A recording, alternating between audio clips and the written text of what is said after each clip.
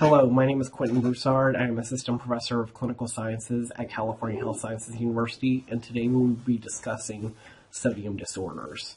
And the reason why we're discussing sodium disorders today is that sodium, as well as water disorders essentially, are one of the most common types of electrolyte disorders, which include both hyponatremia and hypernatremia. Um, hyponatremia being sodium less than 135 milliequivalents per liter, and hypernatremia being sodium greater than 150 milliequivalents per liter. As a result of having hyponatremia or hypernatremia, you may have severe morbidity and mortality that may result from complications of sodium um, being too high or too low in the body. And as a result, as a pharmacist, it's important to be aware about these different sodium disorders and how to treat them.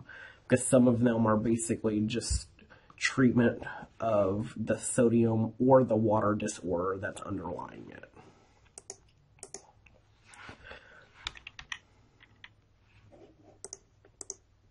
So our objectives today will be to define um, distribution and composition of basic intravenous fluids such as normal saline, lactated ringers, D5W, and some other fluids as well.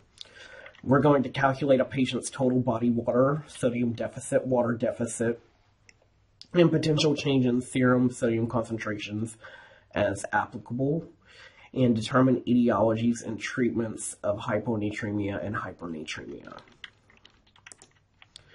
So our case today, um, GB is a 25 year old male. He's 5'9 and 100 kilos, presenting to the emergency department with nausea and vomiting. His symptoms started last night after eating a sushi dinner with his friends at his favorite restaurant.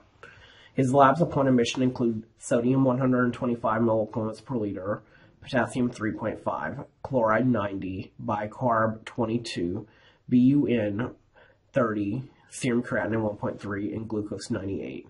What type of sodium disorder does GB most likely have? Is it hypovolemic hypernatremia, hypovolemic hypotonic hyponatremia, hypertonic hyponatremia, or isovolemic hypotonic hyponatremia? The next question is, other than correcting the underlying cause of GB sodium disorder, which of the following should be used to treat GB sodium disorder? Is it dextrose 5% in water, furosemide, fluid restriction, or normal saline? And the last question is, what is GB's sodium deficit in milliequivalents? Is it 60, 600, 900, or does GB not have a sodium deficit?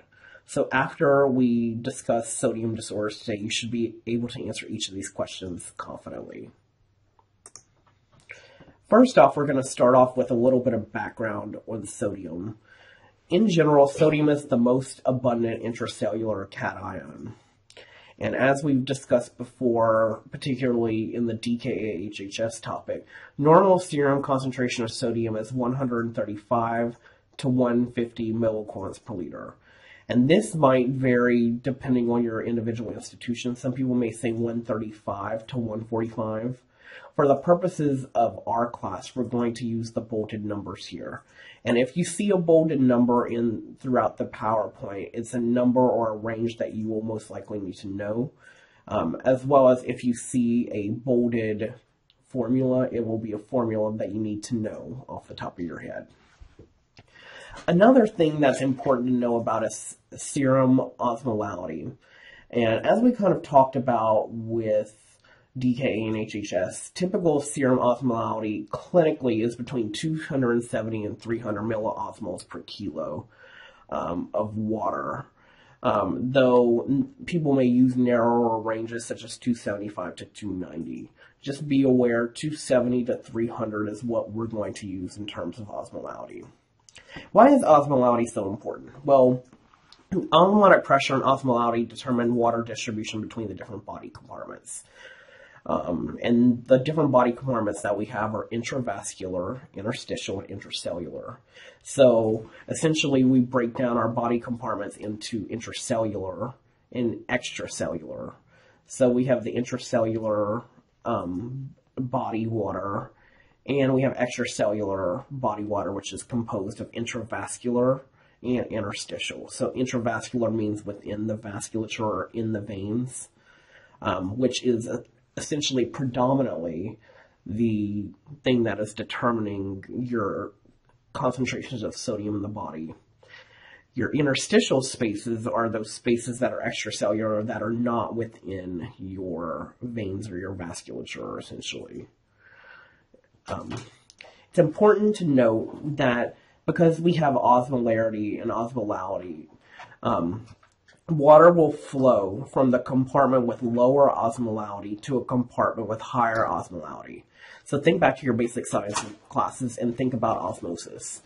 If you have something, or if you have an area that has a higher concentration of, say, sodium or like a salt, what's going to happen is if you have another, you know, medium or um, division between two bodies where things can flow between, a hypotonic fluid such as water is going to flow to the area where you have the higher osmolality or the higher tonicity essentially. So this is going to be important whenever we think about sodium disorders because in sodium disorders, sodium disorders are not only a disorder of sodium, they're also essentially a disorder of water. So is the sodium actually your problem or is it that you have too much water in a certain area or too little water? And sometimes that actually plays a bigger role than the sodium itself. And just a reminder regarding serum osmolality, that serum osmolality per what we talked about in DKA and HHS is two times the sodium concentration plus BUN over 2.8 plus glucose over 18. And this is the formula that you must know. Because this formula will be important in helping to diagnose the sodium disorders that we talk about today. So kind of going into that body water distribution piece, um, I gave you a sample of how body water actually distributes in the body, uh, particularly with hypotonic solutions such as D5W. So hypotonic solutions will flow to both the intracellular space and the extracellular space. Two thirds of that, or 66 or 67 percent, will flow to the intracellular space versus a third of your um, D5W, which will go into the extracellular space. And as a result, when because we have two different extracellular spaces, the interstitial space and the plasma space, um, 25% total will f- flow into the interstitial space and 8% will flow into the plasma space. So essentially, whenever you administer D5W to a patient, which is a hypotonic solution that we're going to discuss in a moment, there's not a lot that actually gets into your in- intravascular or plasma space. It's only 8% or 83 milliliters. However, whenever you have an isotonic fluid, such as um, normal saline or 0.9% sodium chloride or lactated ringers, all of it will actually flow into the extracellular space because of the tonicity that we discussed earlier.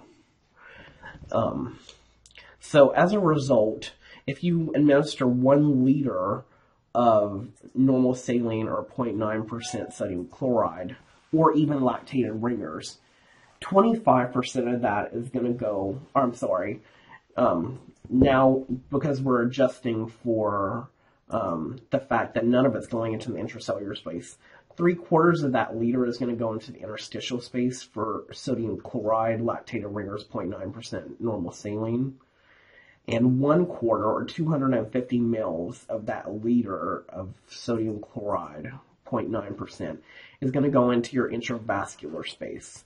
And this is important to remember whenever we actually are treating the different sodium disorders, as well as whenever we treat hypovolemic shock next semester, which hypovolemic shock is essentially low blood pressure due to a low volume of bodily fluids. So, kind of going off of body water distribution and the breakdown of each of some of the main solutions that we have available to us. Um, like I said before, 0.9% sodium chloride or normal saline and lactated ringers are both isotonic.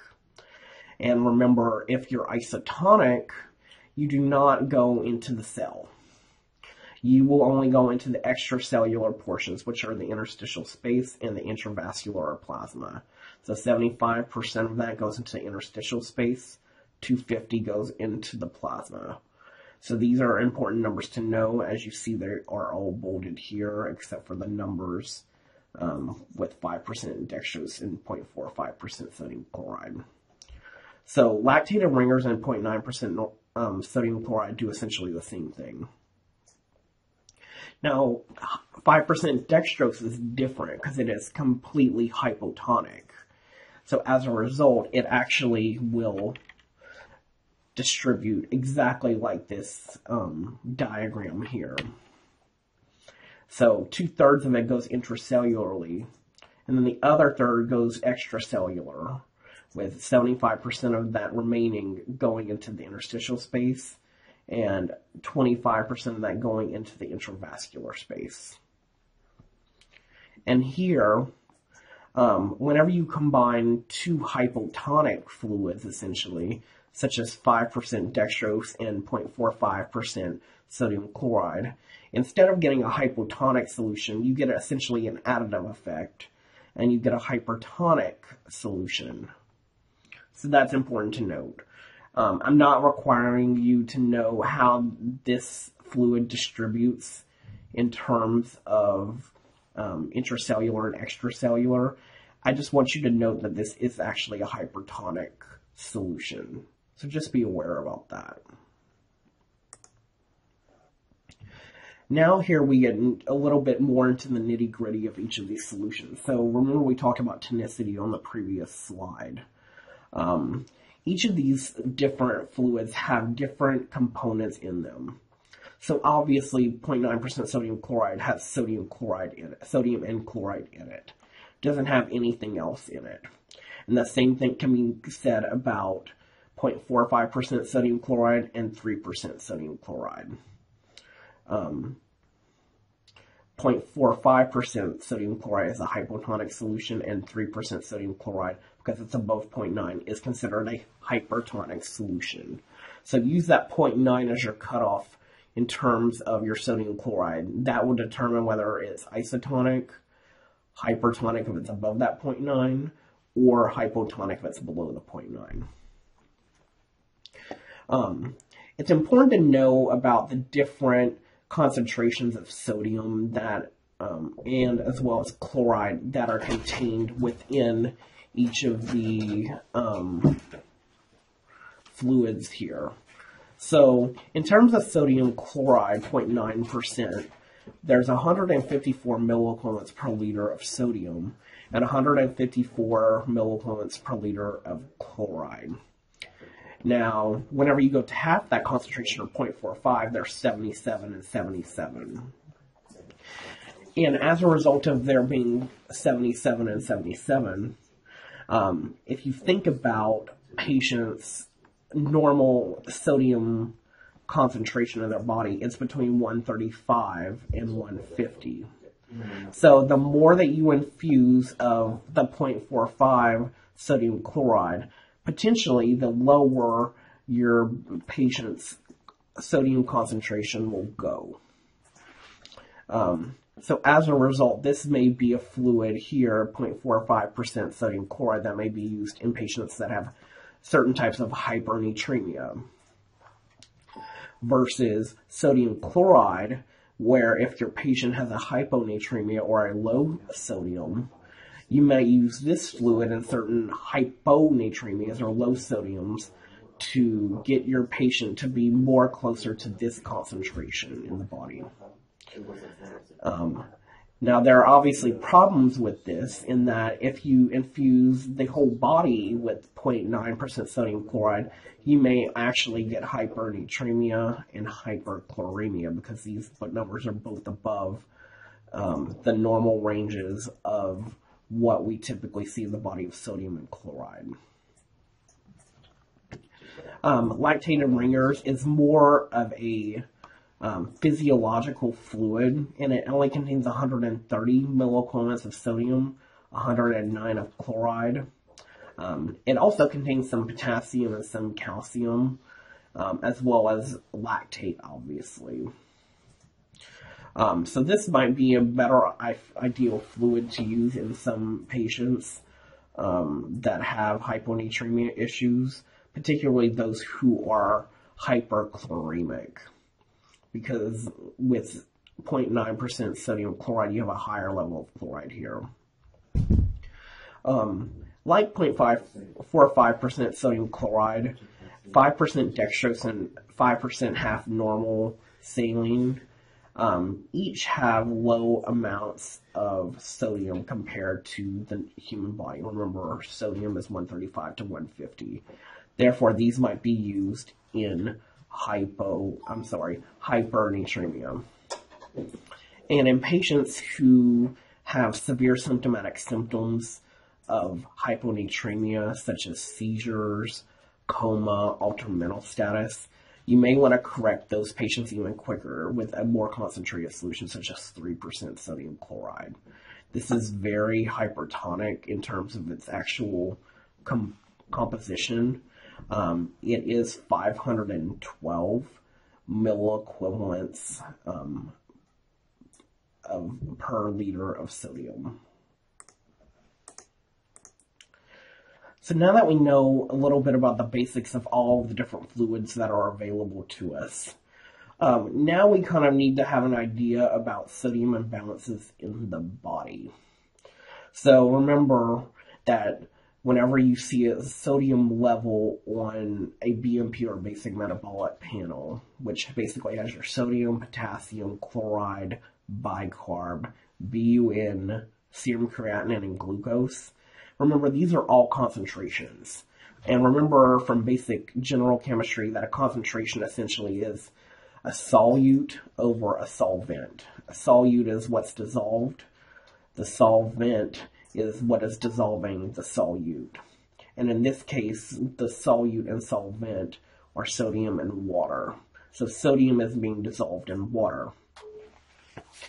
Um, as a result, whenever you have disproportionate amounts of sodium in your body, um, or a change in your serum sodium concentration, essentially. So when we're changing serum co- sodium concentration is essentially governed by this sodium over water concept here.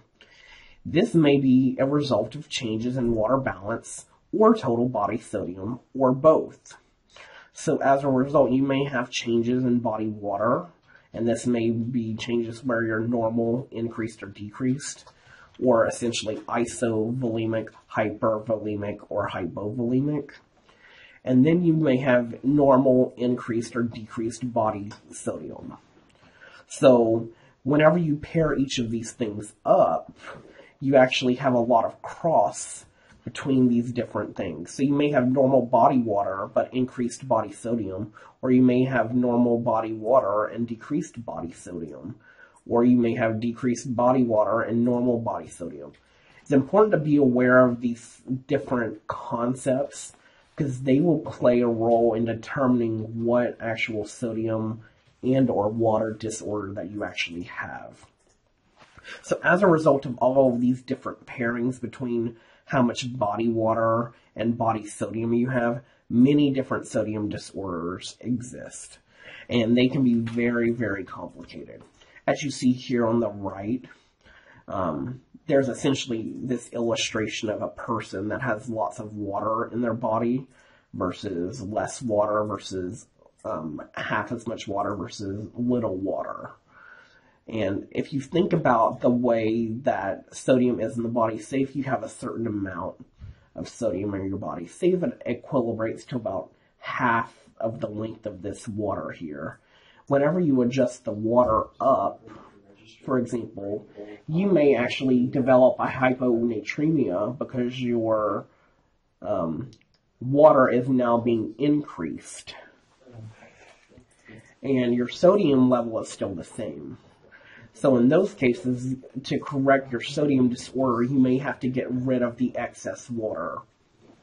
And we'll talk about that with some of those specific sodium disorders, particularly like hypo, hypervolemic hyponatremia.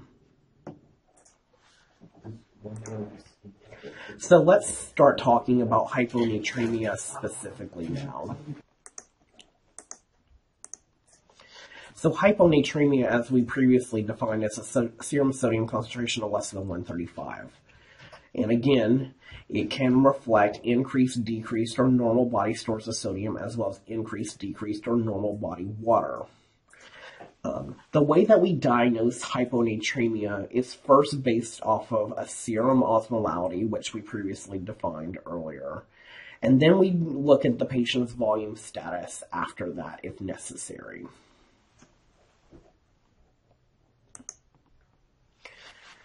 Why is hyponatremia so concerning and how does it actually present? Well, the signs and symptoms of hyponatremia are often nonspecific. Most of them are related to changes in serum osmolality that may occur with hyponatremia, as well as fluid shifts in the central nervous system. And whenever I say central nervous system, I'm referring to the brain here.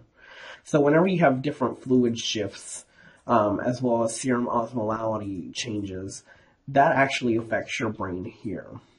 And as a result, you see a lot of CNS type symptoms like headache, lethargy, restlessness, weakness, disorientation. Remember that you may actually, you know, precipitate nausea and vomiting because you have different receptor zones in there, like the chemoreceptor zone that regulate nausea and vomiting. So you may also present with nausea and vomiting. Um, you may get muscle cramps, depressed reflexes. And if it's really severe, um, you may actually have seizures, a coma, or even mortality or death. So hyponatremia is not something necessarily to play around with, particularly if your sodium levels are lower um, than what you would hope for. So going into that morbidity and mortality piece with hyponatremia, it's important to treat hyponatremia because Serum sodium concentrations of less than 130 are associated with a 60-fold increase in mortality. Serum sodium concentrations of less than 120 are even significantly higher than 130. And unfortunately, I don't have a number to put on that. But if it's significantly higher than 60 fold, it's a lot worse, obviously. And then morbidity and mortality may relate to hyponatremia itself. It may relate to an underlying disease state that may be causing the hyponatremia or inappropriate treatment of hyponatremia. So, like I said earlier, there are many different types of sodium disorders and many different types of hyponatremia. We're actually going to talk about five different types of hyponatremia. And it's important to realize what your um, osmolality status is as well as your fluid status so you can treat this appropriately. Because at the end of the day, we want to try to minimize morbidity and mortality if possible. And though it may not necessarily be due to the hyponatremia itself, it may be due to something else um, that is an underlying cause that needs to be treated so that your patient can prevent or minimize having these two things happen, morbidity and mortality. The first thing we're actually going to talk about before we get into our five different specific subtypes are severe symptomatic patients who have hyponatremia. And these patients have to have severe symptoms.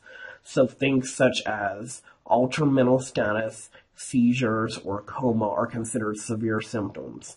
So essentially, altered mental status, so any kind of, you know, not being alert and oriented, um, seizures, so that can be visible or non-visible um, seizure activity, as well as a coma, are considered severe symptoms.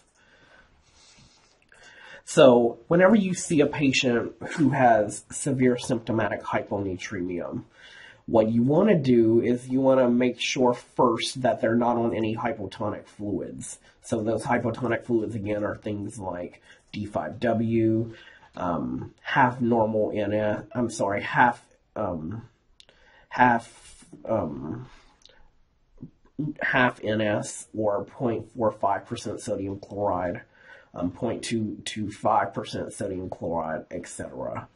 Because those fluids, because they are so dilute compared to our body's normal serum sodium concentrations of 135 to 150, are essentially diluting the body. So if you're on any of those, you need to stop it first. And then you also need to administer IV normal saline or hypertonic saline in those cases. Um, and hypertonic saline is considered um, anything above 0.9%. Most commonly, it's used as 3% sodium chloride. So if you administer 3% sodium chloride, um, you might want to pick a rate between 15 to 80 mils per hour, depending on what your actual ser- serum sodium deficit is, which we'll talk about shortly. Um, so you want to ideally correct your sodium um, aggressively, but not too aggressively, because if you correct it too aggressively, you have, may have complications resulting from that. Uh, in patients who are non-hypovolemic, so basically patients who are euvolemic or hypervolemic, you can add a loop diuretic if the body stores of water are too high. So that can be anything such as furosemide or bumetanide or even torsemide in these patients. And again, you want to discontinue the underlying cause if possible. That is always the biggest thing that you can do. Because if you do any of this other stuff, yes, that's great and it will help a little bit. But until you fix the underlying cause, your patient will not be fixed. Now, here are some general recommendations about monitoring hyponatremia treatment. So we don't, like I said in the previous slide, we don't want to correct them too quickly. We ideally only want to correct them at a max of 12 milliequivalents per liter in 24 hours. And um, if you're going for 48 hours of correction, 18 milliequivalents total. Um, also, you want to watch out and do a maximum of 1 to 2 milliequivalents per liter per hour of sodium correction. So, say if your patient goes from a level of 120 to 125 over the course of one hour, that's probably too quick. You need to correct it slower. You might need to decrease the rate um, of what you're actually doing. And you want to aim for a complete correction over about 48 to 96 hours, depending on how low your sodium is. 50% of your estimated sodium deficit in the body is usually administered over the first 24 hours of treatment, and the remainder over the remaining correction time. You don't want to correct um, to normal serum sodium concentration immediately, such as 135 milliequivalents per liter, unless it fits the above criteria. So, say if it's like mild hyponatremia and you um, are correcting, you know, over the course of maybe like three hours, where you get from 130 to 135, that's fine. But it's cases where you're severely low where it may actually be a problem. Because overcorrection can result in something called central pontine myelinolysis. Um, and this is also known as osmotic demyelination syndrome. Um, essentially, this is a CNS syndrome where because you overcorrected, now your body fluid and salt status is basically severely altered and this can lead to um, pseudobulbar palsy, quadriparesis, seizures, as well as movement disorders. So you don't want to correct them too quickly. That's very important to note. Um, whenever you're treating um, hyponatremia, you want to monitor the serum sodium concentration every two to four hours until the patient is asymptomatic. And then every four to eight hours until your serum sodium concentration is within normal range people will want to be very, very careful about how they correct this. So whenever you're monitoring serum sodium concentration, you want to obviously follow these above rules and do it frequently so that you do not overcorrect too quickly and get the central pontine myelinolysis or osmotic demyelination syndrome. So now you've gotten a lot of terminology about, you know, correcting sodium deficit. Um, you've talked about a lot of like body water, but how does this actually apply to the patient? So there's actually some formulas that apply to these concepts. So whenever you determine total body water for a male, it's traditionally um, 0.6 liters per kilo times weight in kilograms. And for a female, it's 0.5 liters per kilo times weight in kilograms.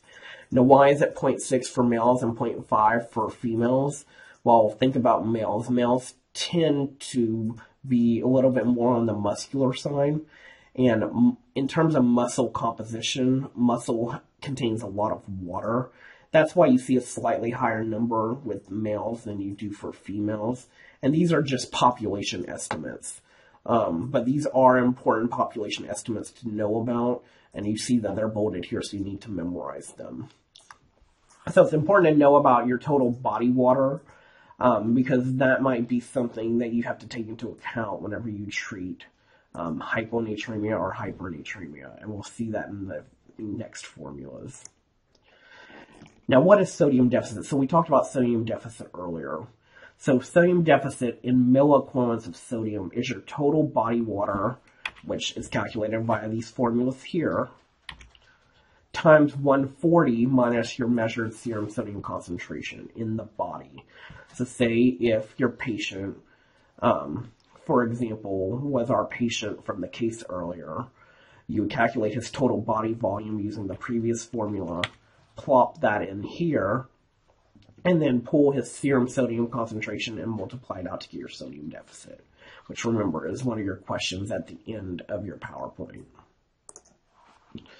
Um, now, the next thing we need to discuss a little bit is if you're actually correcting hyponatremia with um, sodium chloride containing solutions.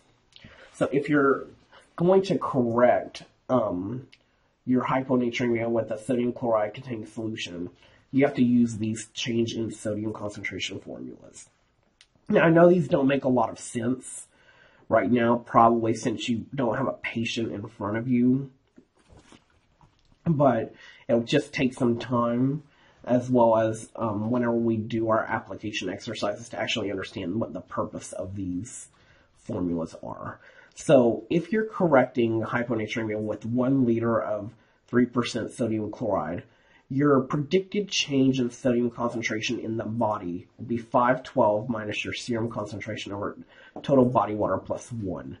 You see that this formula is not bolded. You do not need to memorize this formula. If you need this formula on an exam or a CAT or something else, this formula will be, will be given to you. Um, if you're correcting hyponatremia with 1 liter of sodium chloride, 0.9%, its change in sodium, sodium concentration is 154 minus serum sodium concentration over total body water plus 1. And make sure that you don't do the total body water plus 1 first. Make sure that you use your order of operations. So anything in the parentheses happens first, then you do your division, and then you do your addition after that. So make sure you follow the rules of order of operations or else you're not going to get the correct answer. Um, other hyponatremia types. So these are essentially the meat of what we typically see um, in with hyponatremia.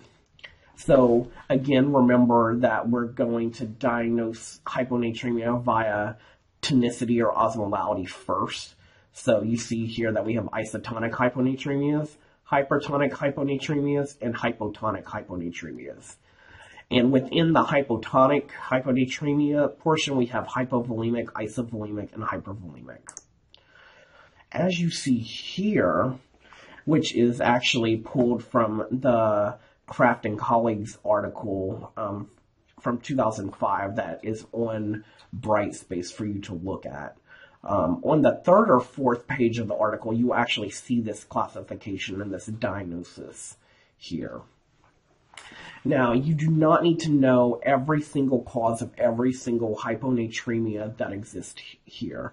If you need to know it for a case or a question, this will actually be provided to you on the exam for you to actually look at. Now, I'm not going to tell you how to calculate like the serum osmolality, for example. You should know how to do that from your formula. Um, but you may be asked things such as, you know, if you have this serum osmolality and this volume status, what could be a potential cause of your um, hyponatremia? So as you see here, we have to determine the osmolality or the tonicity first. So remember, a, a, normal serum osmolality is traditionally between 270 and 300 milliosmoles per kilo of water. Um, so that would fit in the isotonic region here. Low serum osmolality is anything less than 270, and some people would consider 275 or less to be lower, but for our purposes, consider it to be 270. And then elevated serum osmolality is greater than 300 milliosmoles per kilo. So essentially, if you end up in the isotonic range or the hypertonic range, you stop and you look to see what potential causes your patient has um, for this specific hyponatremia, and then you treat it based on that hyponatremia type, which we'll talk about. If you go and you have a hypotonic hyponatremia, so an, an uh, tonicity of less than 270, then you go on to die to look at your volume status. So you can be either hypovolemic, isovolemic, or hypervolemic. So that's very important to note. And this type of hyponatremia is actually your most common type that you probably will see in practice. It's hypotonic hyponatremia. And with that, remember you always assess the volume status. So let's talk about the ones that are not as common first.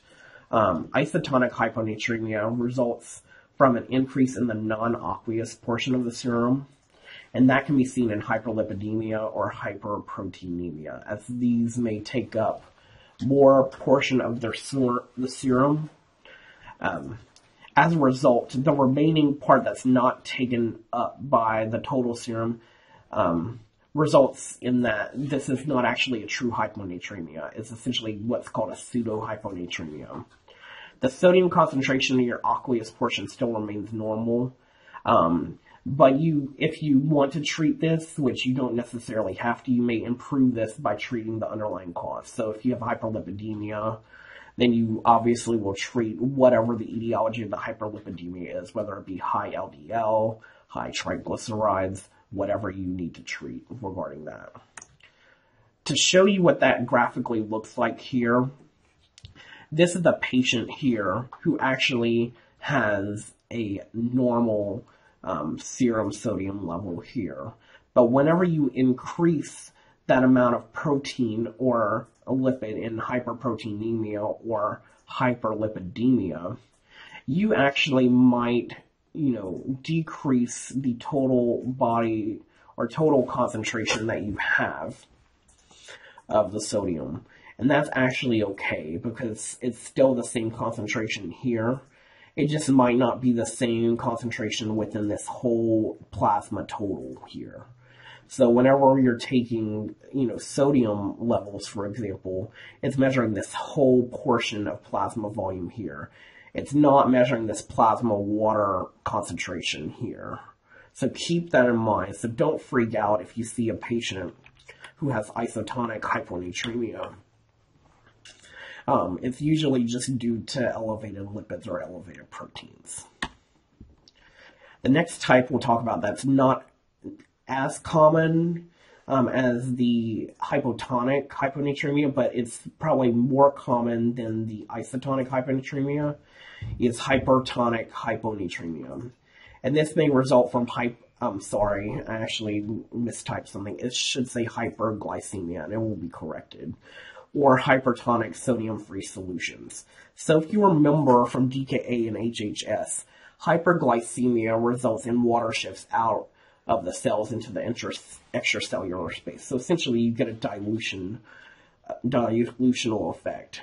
And in order to actually assess your sodium level, you need to use your corrected sodium formula um, which you can refer to in the DKA HHS PowerPoint to calculate the actual sodium level prior to correcting it. Um, now, again, this is bolded, so you need to know that formula. Um, so go pull your information from your DKA HHS PowerPoint. but essentially it is 1.6 um, times the difference of your glucose minus 100 plus your serum sodium concentration that actually reads out on the BMP. Like all other disorders of sodium, you always want to treat the underlying cause, or if it's DKA or HHS. Um, in hyperglycemia, you want to give insulin, obviously, but you also may need to treat them with fluids as well. Um, and you want to ideally, if you have a patient who is requiring mannitol, which mannitol is traditionally given in cases where you have intracranial pressure increases in the brain um, because it's an osmotic diuretic. You want to stop these um, specific um, fluids. So that's essentially um, hyperglycemia and hypotonic sodium-free solutions here. Now we're actually going to get to the more common um, type of, or one of the more common types of essentially sodium disorders, which are our hypotonic disorders. So the first one we'll talk about is our hypovolemic hypotonic hyponatremia. These result from renal or non-renal losses, as you can see listed here. So essentially, your patient has to be hypotonic, so um, a osmolality less than 270, as well as hypovolemic. In order to treat this, think about your patient. So you ideally want to try to replace whatever losses of the volume they have, um, as well as replace the tonicity.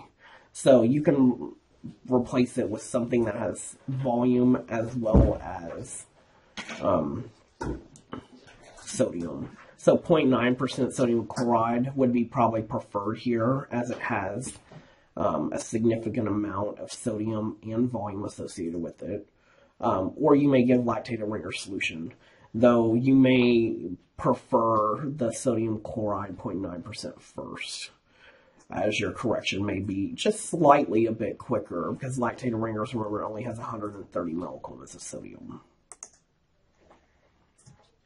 The next type of hypotonic hyponatremia we'll talk about is isovolemic hypotonic hyponatremia. And the main type of isovolemic hypotonic hyponatremia that exists is SIADH. And this is essentially what is known as syndrome of inappropriate antidiuretic hormone secretion. So essentially, um, there's a lot of ADH secretion occurring here.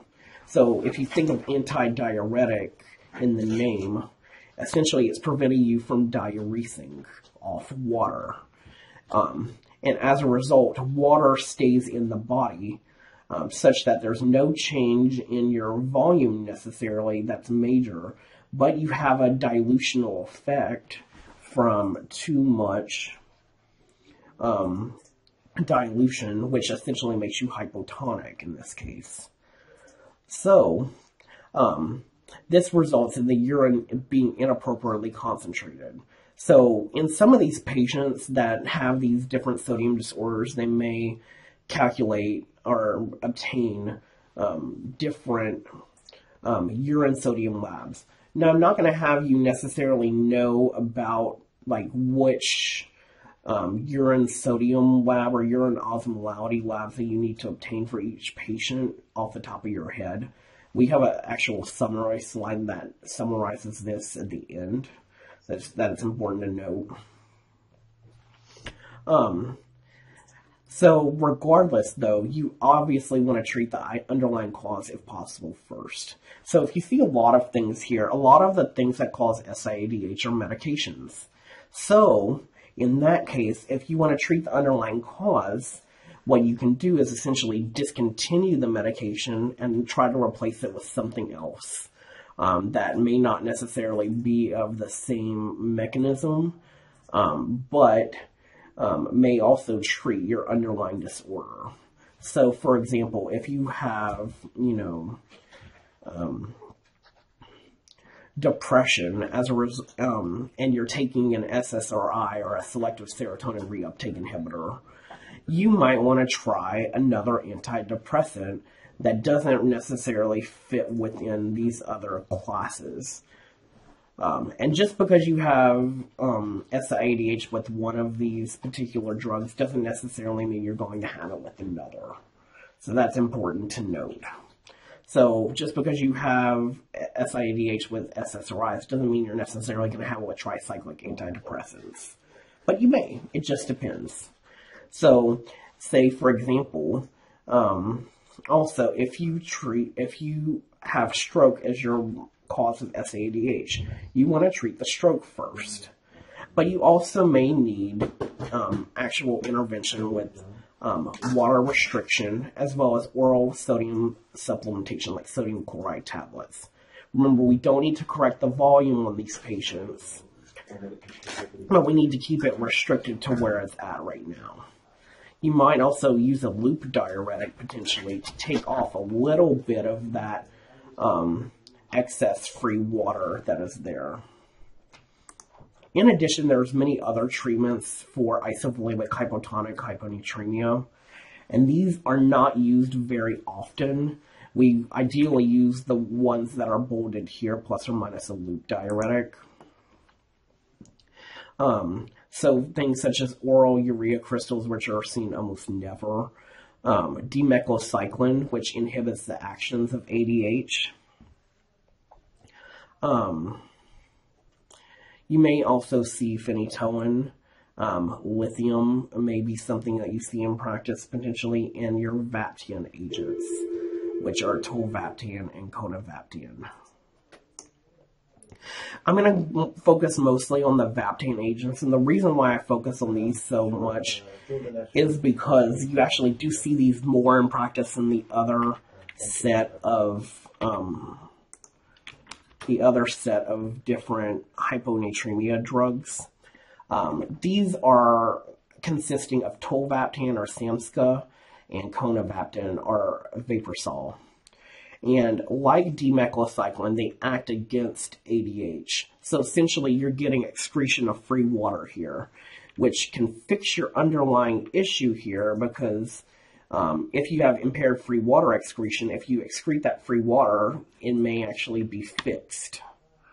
Um, other than obviously fixing your underlying source. Um, some important things to know, just some basics about these agents. I'm not going to go too far in depth into them, but you need to at least know the basics that are on this slide. Tolvaptan is an oral agent, it's PO. Conivaptan is IV. The bioavailability of tolvaptan is about like 50 or 55 percent depending on which resource you look at. So if you don't have good um, absorption in your GI tract, you might consider the use of IV conivaptan, though most people will be able to tolerate tolvaptan and be able to absorb it enough to have an effect. It's indicated for only certain hypervolemic and euvolemic hyponatremias. Um, you, it should not be used in hypovolemic hyponatremias because if you're flushing out free water, it's going to make it worse. Obviously, you're not fixing the underlying problem of the hypovolemic hyponatremia, which is you need to give them potentially volume of some kind. This, you're flushing out volume. Also, because you're essentially excreting free water through the kidneys, um, if you have a poor creatinine clearance of less than 10 or no urine output, these agents are contraindicated because they're predicted probably not to help much. You should avoid them in patients that have hepatic failure um, or hepatic impairment, such as cirrhosis, which you previously talked about with Dr. F. Um, this agent must be initiated in a hospital setting um, because you may have extreme changes in your sodium occur right after administration of this agent. For example, I remember seeing one patient that we actually administered tolvaptan to, only one dose of the, a small dose of 15 milligrams PO times one. And we actually saw that patient's sodium increase over the course of 12 hours from 128 to 140. And, you know, these, this agent is ideally given once a day in most cases. So obviously, if you're already correcting 12, which is your max correction per day, you shouldn't correct anymore. So that's why it's important to monitor it in a hospital setting initially, though patients may be on it chronically. Um, Vaptans in general have a debatable util- utility in clinical practice. They can be used acutely and chronically. However, if you look at a lot of the data that exists out in the literature, they actually have no um, significant difference in mortality. So the difference in mortality at the end of the day is not statistically significant. And if you think about it and think about what we talked about with hyponatremia, um, hyponatremia is not necessarily the thing that is going to kill you. It's the underlying cause that may kill you. So as a result, if you're just treating the hyponatremia, you're not really helping mortality. You have to treat the underlying cause first. That's the way I like to think about it. Um, another type of hyponatremia is hypervolemic hypotonic hyponatremia. And this occurs in patients who are unable to eliminate body water properly, such as patients who have cirrhosis, again, as you previously talked about with Dr. F, renal failure, um, or heart failure, which we'll talk about next semester, I believe with Dr. Snowden. So as a result of having too much volume, you need to essentially get rid of that volume or restrict that volume from actually being there. Um, so in these cases, you want to treat the underlying cause if possible, though remember some of these things may not be reversible like cirrhosis or heart failure. Um, better treatment of them will actually help. You also want to do sodium restriction and fluid restriction on these patients. Ideally, you don't want to give them any necessarily extra sodium because they already have enough sodium in the body most likely. But you want to restrict their fluid because if you restrict their fluid and your fluid comes down, um, then that concentration will correct itself. You might need to diurese them with a loop diuretic to get that volume off, so things such as furosemide. You may also consider a Vaptan here as well, though again, utility is debatable. And I probably would not do this first line. I would stick to the bolded treatment that you see here. So here, this is essentially a, um, a schematic of how they diagnose um, hyponatremia in general. Um, don't be concerned about these numbers here. I just included this slide for you to understand how they diagnose it with the urine osmolality and the urine sodium. Though remember, I'm not going to require you to memorize these numbers. So now we talked about hyponatremia. Now let's talk about hypernatremia real briefly. Hyponatremia is actually a lot simpler um, in concept compared to hyponatremia. Serum sodium concentration in hyper, hypernatremia is greater than 150, and it reflects, um, in general, a water deficit relative to total body, total body sodium levels. It's typically associated with serum hyper, hypertonicity and will occur when the thirst mechanism is not function proper, functioning properly or access to free water is limited or restricted. So it's important to diagnose um, your specific hypernatremia disorder based on volume status because most of them are hypertonic in nature. You just have to look at the volume status once you have a patient that has a serum concentration of sodium of greater than 150. So unlike hyponatremia, you do not need to assess their tonicity status, though you can use their tonicity status just to confirm it's hypernatremia. Again, with hypernatremia, you see a lot of nonspecific symptoms that are actually very similar to, or if not the same as hyponatremia. Um, and most of these, again, are related to changes in serum osmolality and fluid shifts in the CNS. You may see signs and symptoms such as headache, lethargy, restlessness, weakness, disorientation. This is um, muscle irritability or spasticity, which is different than hyponatremia, hyperreflexia, which is different than hyponatremia, and again, seizures, coma, and death. So anytime that you affect sodium levels, you may see seizures, coma, or even related mortality. And again, if you have um, sodium concentrations that are well out of the normal range. So if you have a sodium concentration that's greater than 160, it's associated with greater than 75% mortality. And mortality associated with chronic hypernatremia is lower than with acute hypernatremia. Morbidity and mortality may relate to the hypernatremia, hypernatremia itself, the underlying disease state, or inappropriate treatment of hypernatremia. Okay, so again, whenever you're treating these patients, you might need to determine a change in your sodium concentration. Again, this probably won't make sense right now, but it will make more sense whenever we get to the actual patient cases.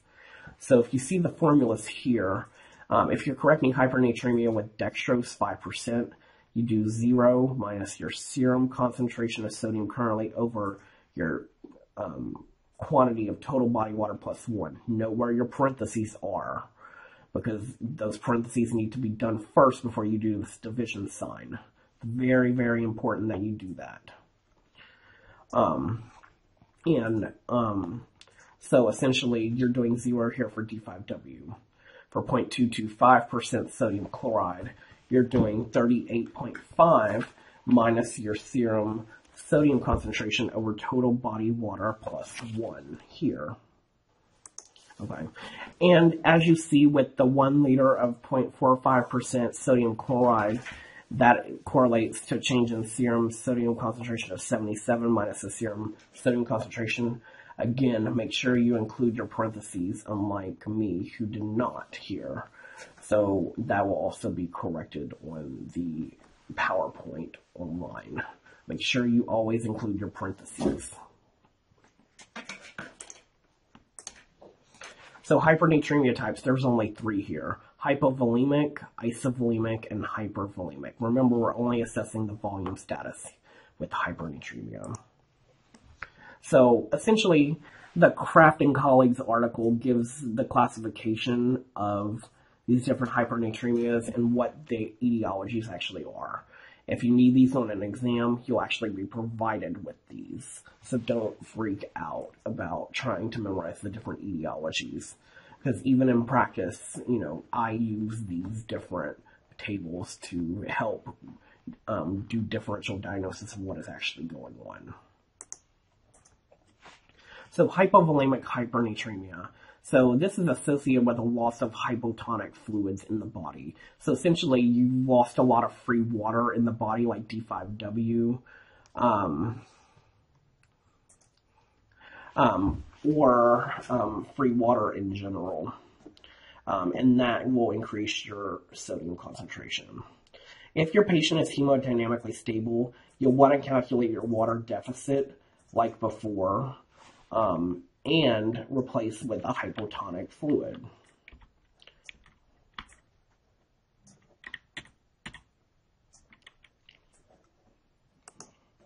Sorry for the technical glitch.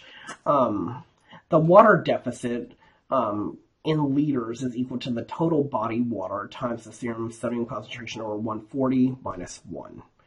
If hemodynamically unstable, however, you always need to replace with an isotonic fluid first. And we'll talk more about that in hypovolemic shock next semester. Um, because remember from your table before, if you have a patient um, who is getting an isotonic fluid, more of that will actually go into your intravascular space than D5 or half normal NS. And in patients that have hypovolemic shock where they're having hypotension because of low blood volume or low body volume. Um, in those cases, you need to get something in the patient that will actually um, correct that volume problem first. Don't worry about the hypernatremia initially. Give them some resuscitation fluids first. Then you can go back to this step once they're hemodynamically stable. Um, you may have patients with isovolemic hypernatremia, and this essentially is associated with a relative water deficit, i.e. free water or hypotonic sodium losses, or a relative sodium excess um, administration for hypo- hypotonic losses, such as if you were to give isotonic sodium administration, such as normal saline to someone. This is commonly observed in diabetes insipidus And in diabetes insipidus, per your review article, um, this results in excretion of large volume of hypo- hypotonic urine, i.e., about 3 to 15 liters daily, as well as polydipsia. And ideally, you should make the differentiation between central diabetes insipidus and nephrogenic diabetes insipidus. The central diabetes insipidus is due to a release, a result of impaired synthesis or release of ADH, and nephrogenic diabetes insipidus results from a lack of kidney responsiveness to ADH. So essentially, you're doing two different, you have two different mechanisms of producing a similar thing. Um, and you can give desmopressin, um, which is an ADH analog, to aid in the diagnosis of DI. So you don't necessarily need to know about what DI is. You just need to be familiar that DI is a cause of isovolemic hypernatremia. And again, if you forget, this will be provided to you in that table on the exam. Um, again, you want to treat the underlying cause if possible. And because this is an isovolemic problem here, um, you're essentially having lots of urine losses from the DI. You want to correct it with a with a fluid that's going to correct your your losses, which essentially are a result of your free water or hypotonic urine losses. So D5 would help balance that piece. DI is not very common, um, so just be aware about that in general in practice. Some other treatments that you can do um, include desmopressin, thiazide diuretics, indomethacin, or amiloride. Um, desmopressin or ADH analog, thiazide diuretics such as HCTZ. Indomethacin is an NSAID and has to be specifically that NSAID particularly, or amiloride, which is a potassium-sparing diuretic. Now we're going to move on to hypervolemic hyponatremia. I'm sorry, hypervolemic hypernatremia. Um, this is associated with administration of hypertonic saline solutions, sodium bicarb, or large amounts of normal saline. So essentially, your problem here is you give them too much sodium and in a large volume. So you ideally want to decrease your under or um, treat your underlying cause if possible. So decrease or discontinue any of the above solutions if you're on them. So say if you're on a hypertonic saline drip and you're starting to get hypernatremia from it, you might want to stop it. You ideally want to restrict your sodium, um, as well as potentially give a loop diuretic, um, which can flush out the volume as well as some of the salt.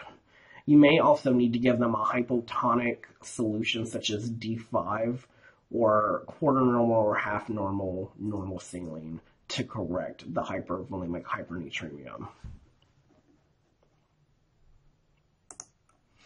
Remember, the biggest tenet of treatment of any medical disorder, particularly sodium disorders, is always treat the underlying cause of sodium disorders first, if possible.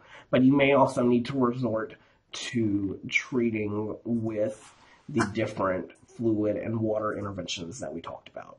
And if the water and sodium interventions don't make a lot of sense to you right now, we're going to do an exercising class that will help them make a little bit more sense um, whenever you can actually see it visually. So if you are not, you know, very well versed in like which when do I use fluids, when do I use diuretics, when do I use hypotonic fluids, when do I use hypertonic fluids, we're going to help clear that piece up in our demonstration tomorrow. Here are our references. Um, we're going to go over the case questions real briefly. So we had GB, our 25-year-old male, who presented to the ED with nausea and vomiting. Symptoms started last night after eating sushi. Um, his labs indicated that he had a low sodium level of 125, um, a low chloride of 90, an elevated BUN of 30, and a serum creatinine of 1.3, which are essentially his pertinent labs here. What type of sodium disorder does GB most likely have?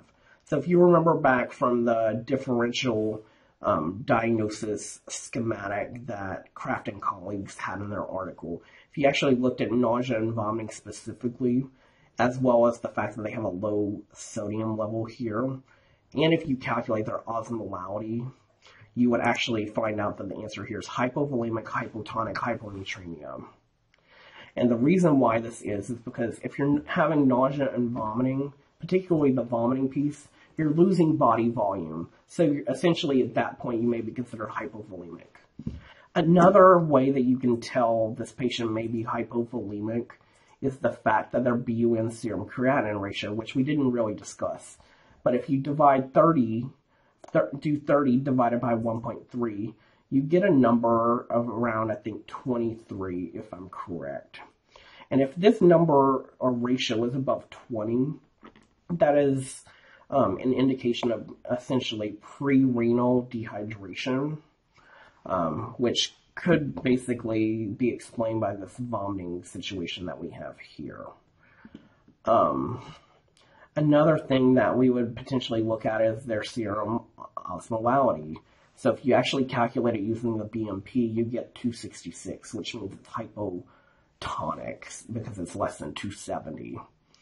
Um, this first answer is not correct because it's not a hypernatremia. Um, though you'll, then you may see patients with nausea and vomiting present with hypovolemic hyper, hypernatremia. Um, this patient doesn't have hypernatremia, they have hyponatremia. So that's important to know. You can see nausea vomiting with either of these presentations. Um, hypertonic hyponatremia, this doesn't work because the osmolality is 266, it's not above 300. And isovolemic hypotonic hyponatremia, this isn't the case here because this patient has nausea and vomiting. And if you go off of the schematic, we actually see vomiting is part of the hypovolemic piece, as well as again their BUN serum creatinine ratio being above 20, which is another potential indicator that you may have volume loss in the body, essentially. Next question. Other than correcting the underlying cause, which of the following should be used to treat GB sodium disorder? So ideally, if you want to treat the underlying cause here, you would give them antiemetics. Um, so things to prevent, prevent their nausea and vomiting. But in the meantime, the fluid that you should give them, or the answer that you actually should give, is normal saline. Um, because this patient is hypotonic and hypovolemic. So you need to increase their the patient's um, body volume in general. So furosemide, which is a loop diuretic, and fluid restriction would not expand their volume. So those two answers are out. You don't want to give them something that is hypotonic because if you give them a hypotonic solution that is less than the 135 to 150 milliequivalents per liter that we have in the body, then that will actually promote hyponatremia, not hypernatremia, which we want more hypernatremia here because we're already at a low sodium level of 125. And then the last question is, what is GB's sodium deficit in milliequivalents per, I'm sorry, milliequivalents? The answer here is 900. The way that you get that a sodium deficit is equal to total body water times 140 minus your serum sodium concentration. So if you do total body water of this patient, patient is 100 kilos. Um, if you do 0.6, because he's a male, times 100, you get 60 liters. Um, and that's your total body water, essentially. If you multiply that by 140 minus 125, you do six, you do 140 minus 125, which is 15.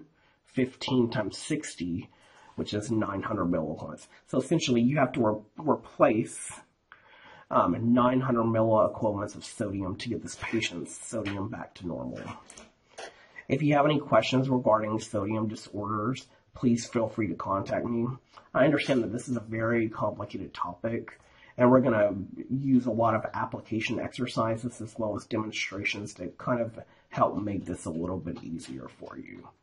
Um, so if you have any questions, please feel free to let me know. Thank you and have a good day.